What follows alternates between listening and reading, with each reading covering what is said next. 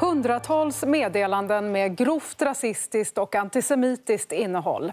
Ja, det fick tre kvinnliga samhällsdebattörer ta emot i sina mobiler.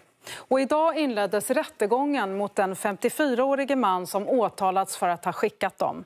Mannen är aktiv i nazistiska Nordiska motståndsrörelsen. Det här är några exempel på vad 54-åringen skickat i sms till tre kvinnliga debattörer som alla profilerat sig mot rasism. Det är hotfulla, grovt antisemitiska och rasistiska bilder. Det är ju ett hot. Det är ju därför som det är eh, allvarligt. Därför att det är inte bara det att jag personligen upplever det som synnerligen obehagligt och rätt hänsynslöst utan det är ju framförallt så att det syftar ju till att tysta eh, den demokratiska debatten. Mannen ställdes idag inför rätta i Solna tingsrätt åtalad för ofredande. Han dök inte upp men rättegången genomfördes i alla fall. Förutom Ann Ramberg har även UNTs tidigare ledarskribent Maria Ripenberg och journalisten Helle Klein fått rasistiska och antijudiska sms från samma nummer. Det är inte bara jag som blir utsatt för det här, men det är ju personer som, är, eh, som just står upp och värnar Eh, Eh, demokratin och värnar yttrandefriheten och eh, värnar mänskliga rättigheter. Det är ju vi som blir utsatta för deras eh, väldiga obehagliga, hänsynslösa beteende skulle jag säga. Klein fick ta emot minst 230 sms som skickades varje morgon och kväll under flera månader. Det startade när hon kommenterade frågan om invandring och våldtäkter på Twitter. Den hotfulla situationen gjorde att hon tvingades ha livvaktsskydd. Den 54-årige mannen är en känd aktivist i nazistiska Nordiska motståndsrörelsen, NMR, och har även varit aktiv i Sverigedemokraterna i kommunpolitiken. Han erkänner att bilderna skickats från hans nummer men nekar till att det var han och lämnar ingen förklaring i förhören hur det i så fall skulle ha gått till. Han är även åtalad för hets mot folkgrupp för antisemitism han vid åtskilliga tillfällen spridit på nätet. Mm, I studion nu Helle Klein, chefredaktör för tidningen Dagens Arbete och en av de tre målsägande i det här rättsfallet. Eh, hur var det för dig att få alla de här meddelandena du fick? Det var väldigt obehagligt. Eh, för Det här var ju mitt under brinnande valrörelse hösten 2018. Och NMR hade ju flyttat fram sina positioner, de ställde upp i val. Eh, det hade varit stora demonstrationer där jag befanns på ett plakat och kallades förbrytare tillsammans med många andra politiker och opinionsbildare. Och sen började de här smsen komma och det var väldigt systematiskt. Det var enormt många fasansfulla bilder, djupt antisemitiskt, nazistpropaganda, länkar till nazistiska sajter och förfärligt budskap. Så att, och det pågick dag efter dag, flera gånger om dagen eh, i form av sms. Hur, hur kändes det att få de där meddelandena? Ja, jättejobbigt och, och framförallt så att det också kom fram eh, att han var mycket aktiv i NMR. Och NMR är ju en våldsam terrorrörelse, en nazistisk terrorrörelse. Så det gjorde ju det extra otäckt. Och sen, att du blev rädd? Ja, absolut. Jag tyckte det var väldigt obehagligt. Och det går ju också ut på att stämpla ut oss som är journalister och debattörer och liksom för demokratins skull och att vi ska bli rädda. Eh, och det är klart att det här systematiska väldigt hatande, eh, väldigt hotfulla eh, skapar djup oro. Hur påverkades då du och, din familj de runt omkring dig av det här? Ja, då vår tidnings säkerhetsbolag eh, tyckte att det var en väldigt allvarlig situation så jag fick ha mycket tätt livvaktsskydd under de här veckorna i augusti och det påverkar ju hela min familj och blir väldigt djup stress av det.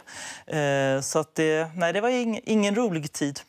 Han säger ju själv att det inte var han som skickade dem. Men eh, om vi tittar ändå på innehållet då i det han påstås ha skickat då är det ju inte att attacker mot just dig utan det är ju liksom grov rasism, antisemitism och så, propaganda. Varför tog du åt dig? Så mycket. så att säga. Det var inte liksom jag ska döda dig. Nej, det var det inte. Men att eh, få eh, hundratals, över 200 förfärliga bilder med ett budskap om att judar ska förintas och eh, nazistiskt budskap. Eh, det, det var ju riktat till mig som person. Jag har en judisk bakgrund. Men det var också riktat till mig. Han skriver om medierna som judemakten, vi journalister, PK-eliten. Hela det, hela det politiska demokratiska systemet är det han vänder sig mot. Och jag är då chefredaktör och är en debattör för människorättsfrågor. Mm. Så att det är klart att, och det blir också väldigt nära när man får det i sin telefon. Eh, det var ingen anonym hatare på nätet utan det kom, han var öppen med det. Det gick att veta vem det var. Han befinner sig i Sundbyberg, han kan sitta på tunnelbanan, han kan gå på gatan. Du vet, det är ju många som inte anmäler sånt här. Vad var det som fick dig att liksom göra rätt sak av det? Alltså jag har ju drivit i många år för mediebranschens räkning hur viktigt det är att samhället tar större, på större allvar hot och hat mot journalister. För det är i grunden ett hot mot demokratin och då är det viktigt att anmäla. Jag har anmält tidigare och det brukar alltid läggas ner så jag tycker det är helt fantastiskt att det äntligen blev en rättegång. Eh, och det är väldigt hoppfullt. Mm. Jag säger tack till dig där och så ska vi ta och byta och få in en annan gäst här mm. i studion. Tack för att du kom hit. Eh, och nu så har vi med oss Engla Eklund. Välkommen. Jurist, ordförande för Institutet för juridik och internet. Eh, på vilket sätt tycker du att det här är ett viktigt rättsfall?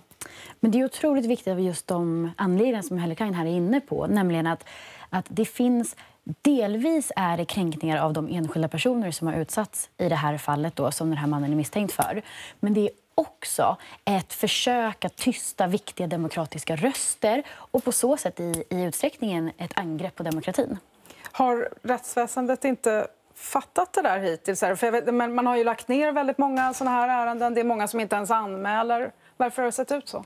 Jag tror tidigare har det på grund av resursbrist men också bristande kunskap faktiskt tidigare lite lagts på hög och lagts åt sidan och man har inte förstått allvaret som det, de här typen av, av angrepp på en enskild person faktiskt kan ha. Och delvis då som sagt för den personen men också för samtalet. Vi pratar om journalister som, som vänder sig till självcensur och så vidare.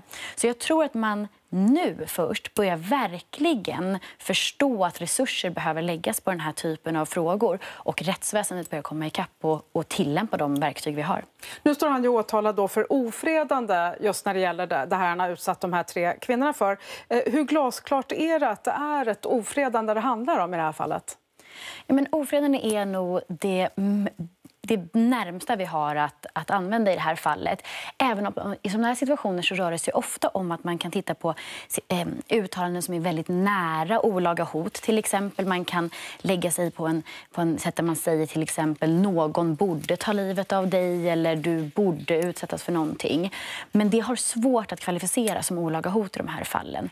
Men däremot ofredande, den riktar just in sig på antingen ett stort en stor omfattning av meddelanden som inte egentligen spelar jättestor roll hur kränkande inläggen är i sig. Det kan vara att man får 200 hej, men oönskade hej där man har markerat mot att man inte vill ha dem.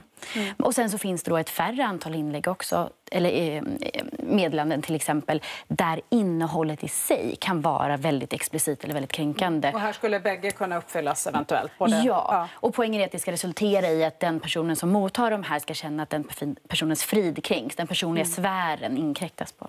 Du, jättekort till sist, vad tror du? Vad talar för att den här mannen blir fälld eller inte fälld? Om du kan summera lite kort. Ja, men det finns alla förutsättningar för den här eh, ofredandet då är uppfyllt eh, och även hets mot folkgrupp. Det som eh, man försvarar sig med är att de här meddelandena som är kopplade då till den här mannens mobiltelefon och det finns även andra Swish-grejer till exempel. Och det som talar för är då att det man försvarar sig med är att man inte har skickat det. Men det är en långt utsträckt tid och ett stort antal meddelanden. Mm. Vi får se hur det går i den här rättegången. Tack så mycket Engla Eklund för att du kom.